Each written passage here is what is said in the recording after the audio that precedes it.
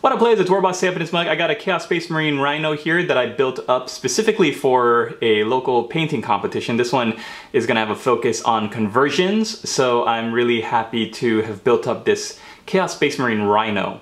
Now, uh, the last time I entered this uh, the, this game store, they had four categories uh, in a painting competition, and uh, you might have seen my videos. I entered a Thunder Tusk, an Empire Volley Rocket, a squad of handgunners, and Gutrot Spume. I was lucky enough to take two first places. The uh, Gutrot Spume and the Artillery Battery won first place for, I think their single figure and uh, artillery piece for Age of Sigmar. This one is just like conversion focused and for any Games Workshop model. I decided to go with this because uh, in the end I was like, oh maybe I'll do an Imperial Guard squad that is utilizes like goblin lower body, uh, lower half of their bodies, the goblin legs and goblin heads and, and Imperial Guard torsos and arms, or maybe I'll do like orcs with a bunch of Space Marines and Imperial Guard bits on it, but in the end, I think because I'm so slammed with commissions, I wanted to do something that was relatively simple. It's gonna be an easy color scheme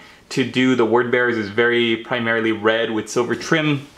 And because Space Marine vehicles are mainly just one color anyways, I think it's gonna be a lot of fun to do this one up. And then if you're interested in purchasing it later, I'm gonna put it up for sale on my web store. I've got a lot of great items in the web store, things that I've been working on recently. Everything from the painting competition is up there, as well as uh, the army bundle deals I've had up there for a while. So if you're interested in anything, check out the web store at my website and uh, you can have a piece of my personal collection for yourself.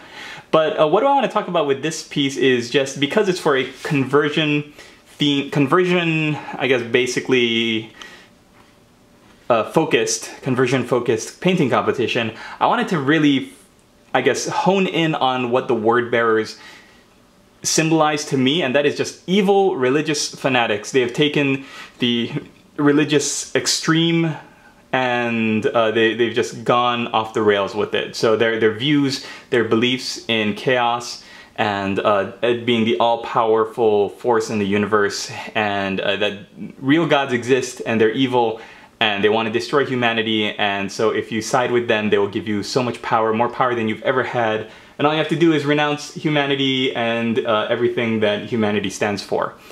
So it's, it's a really twisted concept. I've been talking to, responding to this one commenter on YouTube who's been asking me all these great, I guess, philosophical questions about chaos and why anyone would would want to uh, fall to chaos and choose chaos over the Imperium and over the Emperor.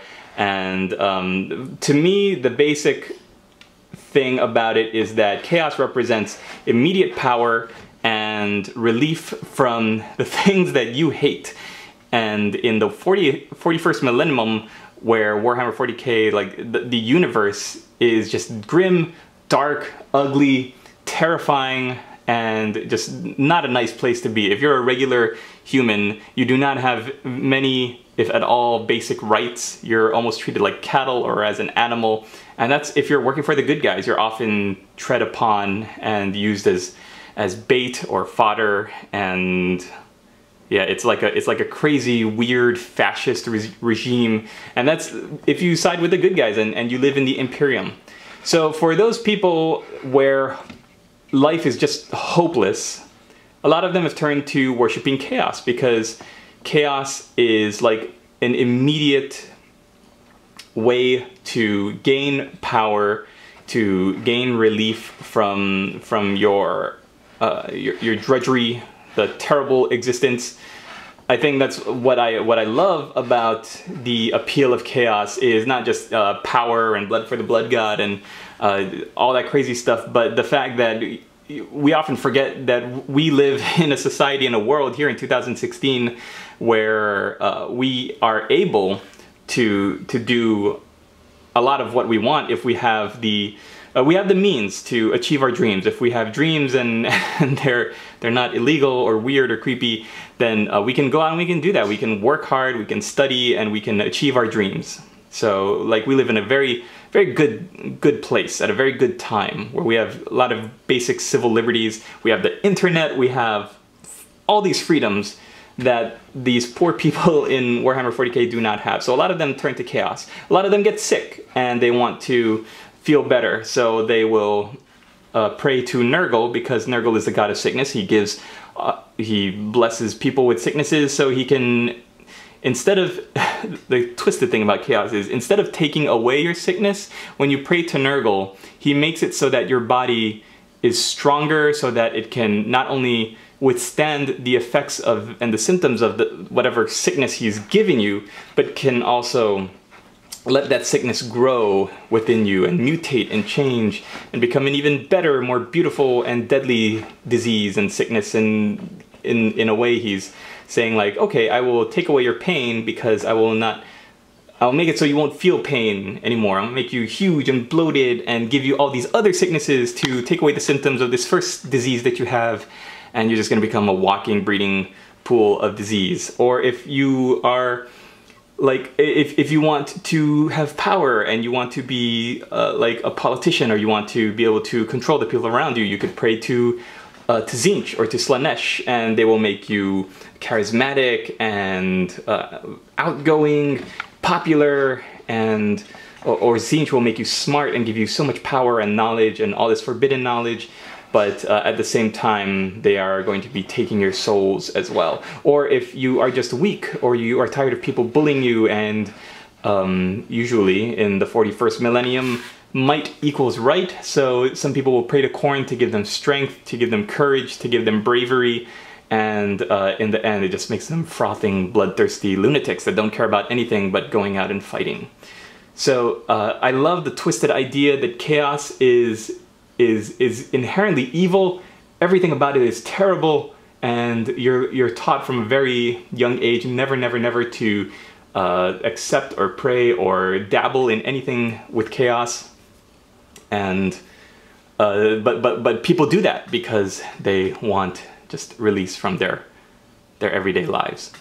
And we've totally gotten off topic now, seven minutes into this video that should be about kit bashing a word bearer's rhino.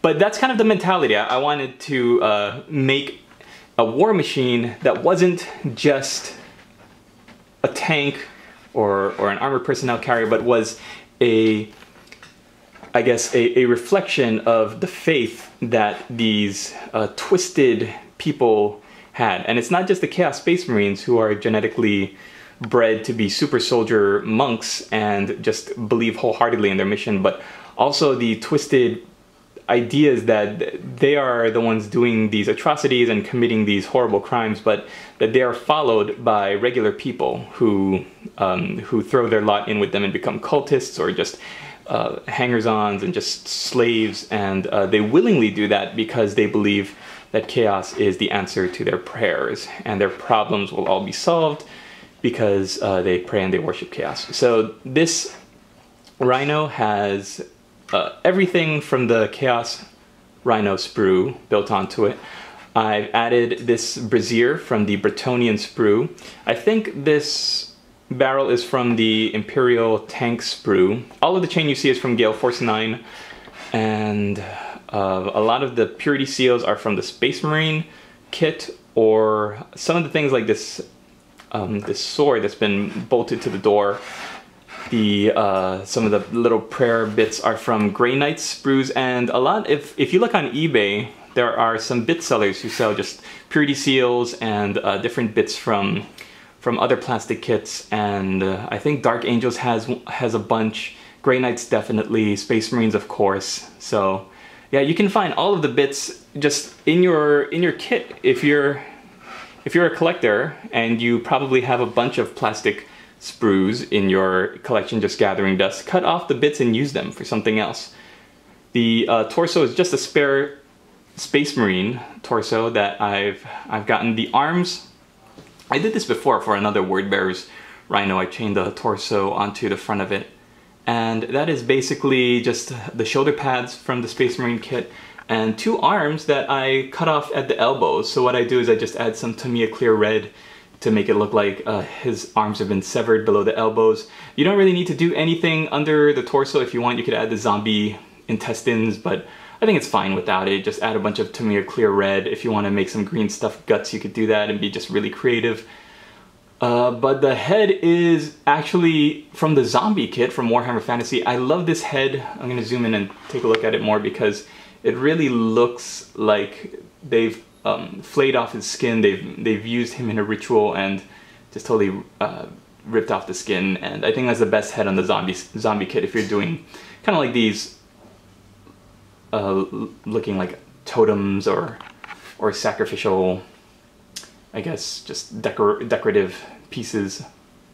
So I'm gonna paint this up and it's it should not take very long. Again, it's gonna be a very basic paint job. I'm gonna enter it into my local painting competition. We'll see how we do. But uh, yeah, I can't wait to show you guys some of the other work I've got on my channel. So thanks for watching. You can check out my Facebook for all the pictures I'm gonna be posting up. I'm also gonna be posting up pictures on Twitter and I've got a Patreon, so if you want to follow my work there, I'm going to be posting a bunch of stuff there as well. And yeah, hope you guys are having a great day. Let me know if you have any questions about anything in this kit. I'd love to, I guess, share my experiences with you on them, and we'll see you in the next video.